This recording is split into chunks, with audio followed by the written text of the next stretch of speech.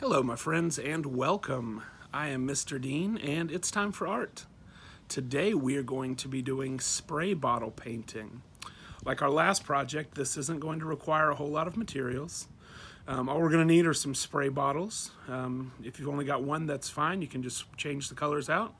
But uh, if you've got a couple of them, that would be good. Uh, we need some paint to go in those spray bottles. Uh, today I'm going to be using tempera paint that I've watered down. If you'd like to water down some paint, I would suggest tempera. Don't use acrylic or oil. They're not going to work well for this. Um, you can use that watered down tempera. You can use uh, what's called liquid watercolor if you've got that around. Or you can just mix uh, some water and some food coloring if you want to go that route too. That works perfectly fine. The more food coloring you add, the uh, darker our colors are going to be, which is going to give you nice, uh, nice, fun, vibrant pictures in the end. Um, so other than that, we need our spray bottles full of paint and we're just gonna need some paper. We're using a thicker watercolor paper. Um, if you've got thicker paper to paint on today, that's great. If you only have like a thin copy paper, that's fine too. Just use whatever you guys have. You know, I'm, I'm trying my best to make sure that we can do things with what we've got laying around the house so that everybody can participate. Um, now today I've got my helpers back with me again. Uh, so why don't we go catch up with them and I'll show you how I've got these pictures hung up so that we can uh, do our spray bottle painting today. Say hello, boys. Hello. All right, today we're going to be doing some spray bottle painting. All we've done is tied some strings around the tree outside all the way over to the fence so that we can hang our papers on with some clothespins. Are you guys ready to paint? Yeah. All right, go ahead and get started. Let's see what kind of pictures we can make. Well, mine's dripping. Oh, what color are you using, Robbie? Blue. Nice. Dripping. Jackson, what colors are you using? Yellow and red.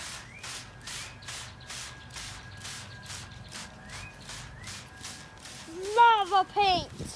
Oh, when yellow and red mix together, what color do they make? Orange. So good. And they make for lava. Whoa. Mine is the lava art project.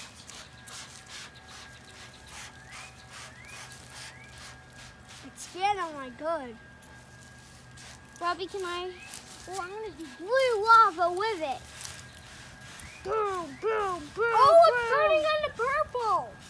Great job. Red and blue do make purple. Way to go, Robin. I'm gonna spray these two. The two primary colors. Mm, that's looking really neat, Jackson.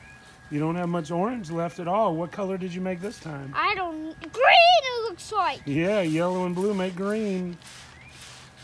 I'm making the coolest color. Daddy, this is what I did. Great job, Bobby, Robin. can I use red? No, no, I'm not done. I'm gonna I make my primary. A little yellow in the corner. Boom. Boom. This is so cool.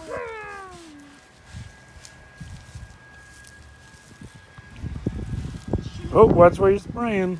Can I?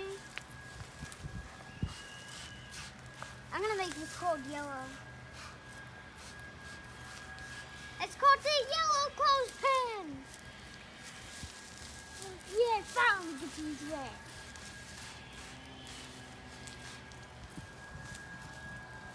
These look great, guys. Thank you so much for your help with this. Daddy, look how much paint I got in my hand. Oh my gosh, you're a mess. Good thing we're doing this outside.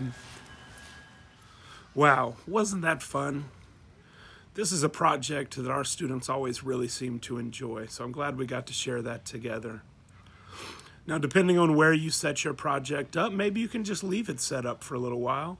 Uh, that way it'll allow you to kind of have an easy art break later in the day or maybe even tomorrow without a whole lot of work. Um, what I would encourage you to do though is save these pictures after they've dried. Uh, I've got an idea to use them for um, a future project in the next week or two that we can all uh, have, and this will save you on having to get some other materials too. We'll be able to use this project to help us with that one, so that'll be fun. Anyway, thank you guys so much for participating today. Um, it was great having you, and I will see you next time.